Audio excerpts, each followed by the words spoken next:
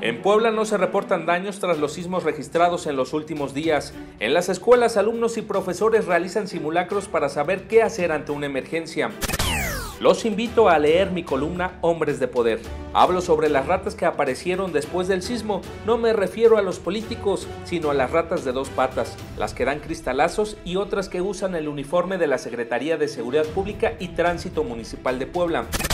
El presidente Enrique Peña Nieto conmemoró el 105 aniversario de la creación del ejército mexicano, donde destacó que el Instituto Armado es el factor de la paz, la estabilidad y el desarrollo del país.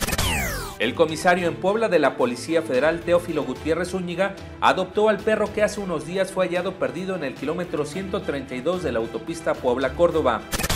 María del Socorro Valdés, una mujer de 48 años de edad que viajaba en un camión de ruta, resultó lesionada por la ventanilla que se rompió a causa de una bala perdida. No se sabe nada de los responsables.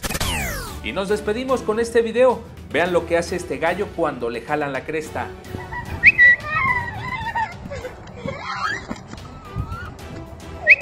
Up!